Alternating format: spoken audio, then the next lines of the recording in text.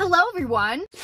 Welcome back to my car again. I'm at the First Coast YMCA Nocatee location. The cool thing about the First Coast YMCA is if it's included in your membership, you can go to any of the locations around the First Coast. So I was at my parents' house earlier. I thought, why don't I try a new location today? I typically go to one closest to my apartment, but I was feeling kind of bougie. So I was like, let's take a little road trip to Nocatee. So I'm gonna give you a little tour and then go work out. And then maybe I'll leave looking like a Ponte soccer mom. Who knows? Let's find out. So the Nocatee location is located inside this health center. It's so nice since it's upstairs and overlooks the water.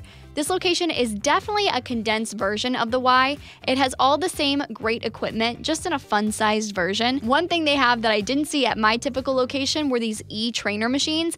Their workout machines have these virtual trainers that tell you how much of each exercise to do, but they also have regular machines if you prefer those, and plenty of free weights and space to lift. Just finished my week up at the Nocatee Y. It's a really nice facility. They also have this really nice cafe downstairs, so if you get hungry, if you want coffee, it's there, so that's a nice little touch. This one's a little bit of a drive for me, but if you live out in like Nocatee or closer to St. Augustine, like this is a really good option. Yeah, I think I might just do a little tour day YMCA all across the First Coast and um and check them all out because this was really cool. It was nice to switch it up. I'll see you next week.